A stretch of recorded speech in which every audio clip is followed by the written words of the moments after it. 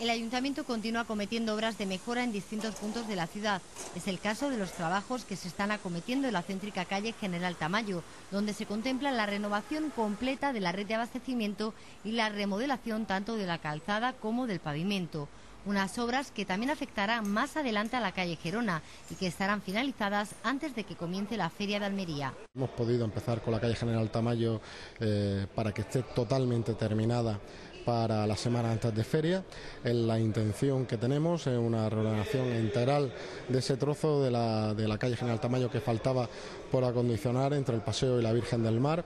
eh, donde se va a ver nueva vegetación, vegetación antes inexistente, donde va a haber seis nuevas jardineras de acero corte con, con naranjos y rosales y un adecentamiento total de todo lo que son la acera, el abastecimiento, los saneamientos. Además, durante estas obras se realizará un nuevo diseño de los viales que puedan mejorar el tránsito de los peatones, para lo cual se ejecutarán pasos adaptados a la nueva normativa junto con la instalación de seis jardineras que contribuirán a adornar esta zona.